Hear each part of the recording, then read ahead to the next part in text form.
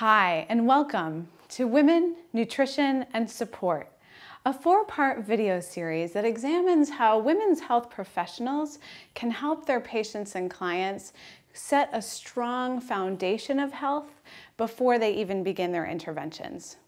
Hi, I'm Jessica Drummond of the Integrative Pelvic Health Institute, and I'm excited to bring you video one today. Today we're going to explore how to help our patients achieve success on their own terms. We've all heard of the new book, Lean In.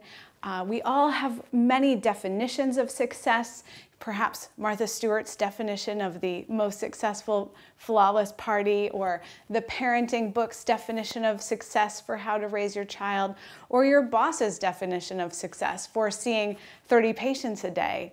Today we're going to explore how how zoning in on a patient or client's specific definition of success is actually important to improving her physical health symptoms. First of all, let's explore some of the research on how burned out women really are.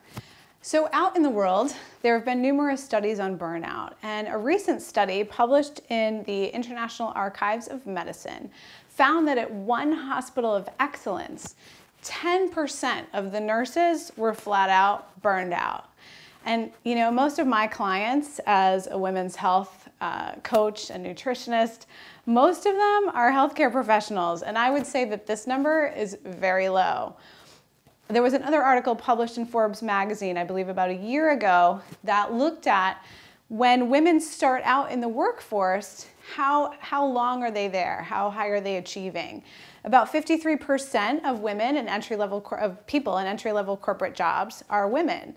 But when you get to the higher level jobs, the vice president jobs, um, the senior management jobs, that number drops to 26%. So 50% of corporate women are either burning out or just flat out dropping out of the workforce before they achieve the uh, corporate definition of success. And when you Google burned out moms, I got about 4 million hits.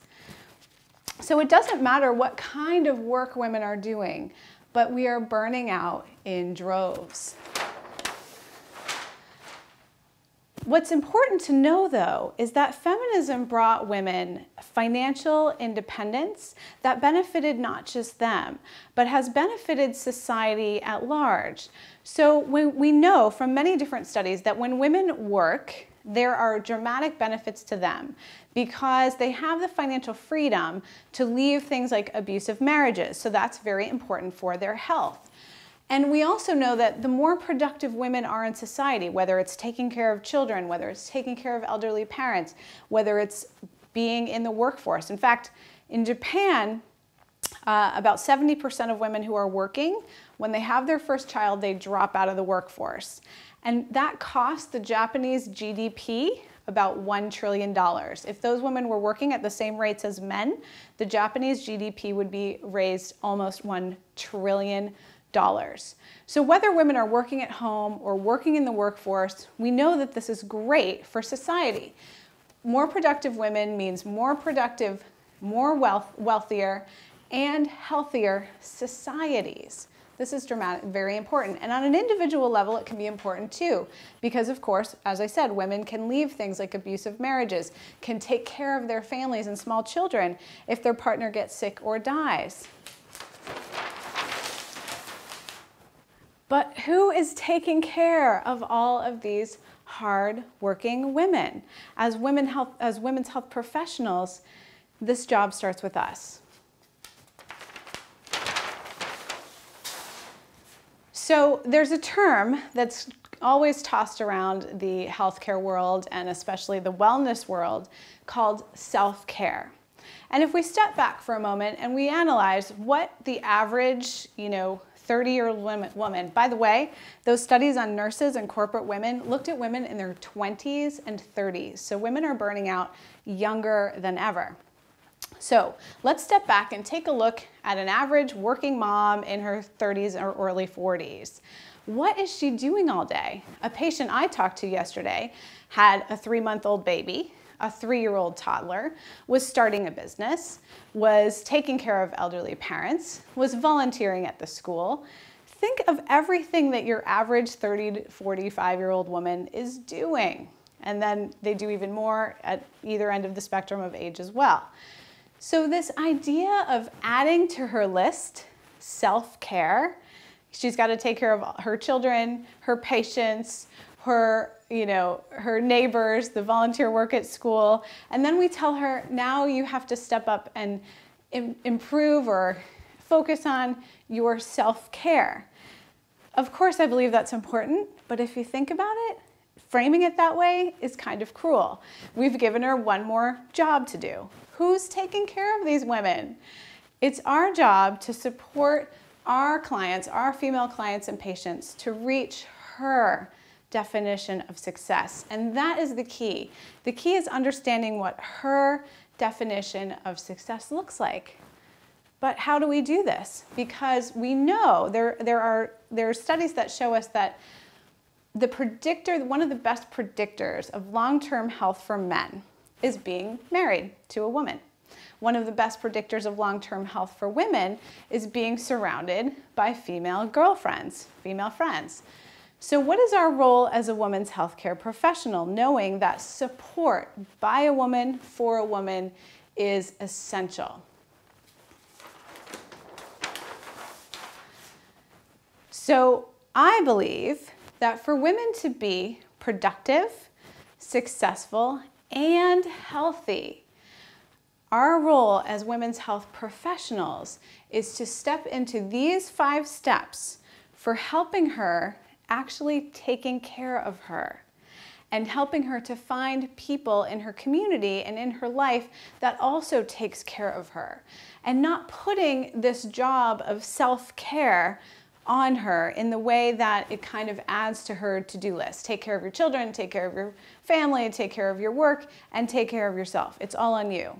So let's look at how we can support her to find people to take care of her. Step one, be her inspiration. So as a women's healthcare professional, as you allow yourself to be taken care of, by, taken care of, accepting help from others, you are inspiring her to do the same. Also, taking care of yourself by setting boundaries as to what you will and won't do is another way that you inspire your patients. When you are are doing the same thing that she is, taking care of 50 million people, uh, you know, in your life and having no one taking care of you, then you are not modeling for her what's possible. Second, so here's where the definition of success comes in. As I said, looking at a Martha Stewart magazine, the definition of success might be throwing a flawless party. Or reading a parenting magazine, that will define for you the definition of success of being a parent. But every woman has deep inside her her own definition of success. And that is her vision for her healthiest and most successful life. And it may be much, much simpler than the definition that she's getting from sources outside of herself, from TV, from magazines, from other people's ideas, from the ideas that were given to her uh, in school as she was growing up, from her parents, from her colleagues, from her bosses. So uncovering that vision is our first job in supporting women to reach their definition of success. It's knowing what their definition of success is.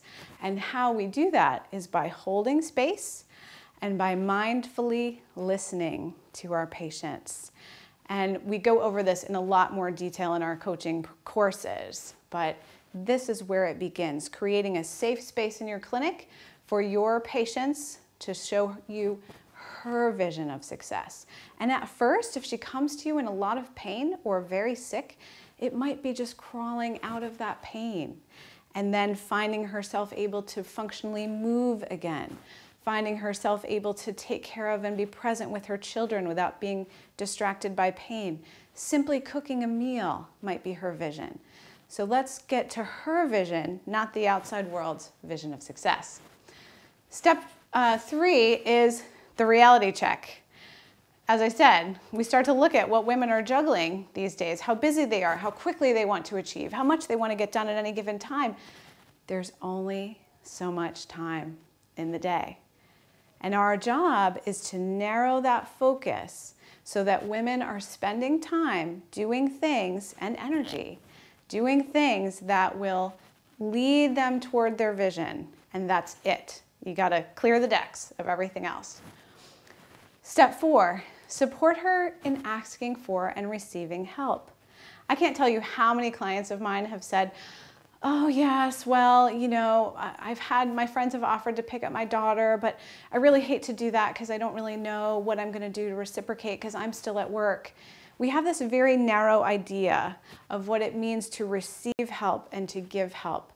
Perhaps you're not reciprocating one-to-one -one when uh, one of her friends in her support network gives her some support. But if it's allowing her to do work in her community that she has a very specialized skill to do, then she's adding to the whole community. And I think women have to start seeing themselves as valuable within their community so that they are seeing the value in allowing others to support them. And when it comes to allowing their spouses to support them, very often, and I learned this from a friend of mine who's a relationship coach, her name is Stacy Martino, look her up, she's full of energy. Um, when I, what I learned is when it comes to supporting our clients in accepting help from their spouses, very often it simply matters of learning communication skills between men and women because we talk very differently. And step five, accountability. So our final job is we have a lot of knowledge as healthcare professionals for helping women to heal from pain, to improve their symptoms, to improve their energy, to sleep better, all of these health giving skills that we have. But they're never going to do any good unless we take a stand for our clients and hold them accountable to going home and doing what it is that they have chosen to do to gain that energy. So let's say they committed to you in your, you know, in your session that they were going to go to sleep by 10 p.m. each night so that the next morning they were going to have the energy to have less pain, to be in, have more focus so that they can actually move towards that vision if they're not sticking to it and not going to bed by 10 p.m., it's our role to take a stand for them and hold them accountable to those things that, that you and your client agree to do, that they're, that they're going to do. So those are the five steps for supporting women to redefine work and success in a way that is health giving, not health sucking. All right, thank you so much for being here for this first video in our series, and I will see you in video number two. Bye.